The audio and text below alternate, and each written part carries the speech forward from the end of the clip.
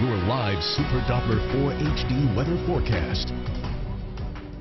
Hi there, I'm Pamela Wright. Thanks for checking in on your Saturday. A beautiful one already and will be from start to finish today.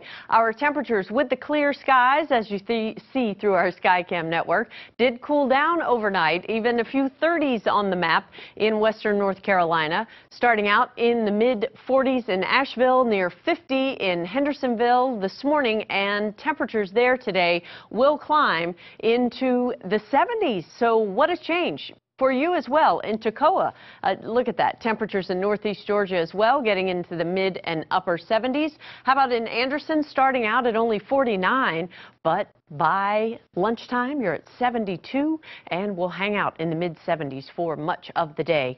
Satellite and radar picture, not many clouds to be found today. A Few fair weather clouds drifting over the mountains. That's about it. And beautiful in Greenville, warming up nicely, spending even the evening hours near 70 degrees at 8 o'clock. So very pleasant if you can get outside anytime today. It's going to stay comfortable. We will cool down a bit more across the mountains tonight, getting back into the 40s once again. But 53 are low in Greenville, Spartanburg, and Anderson. And you see the week is going to warm up. We're in the upper 70s now.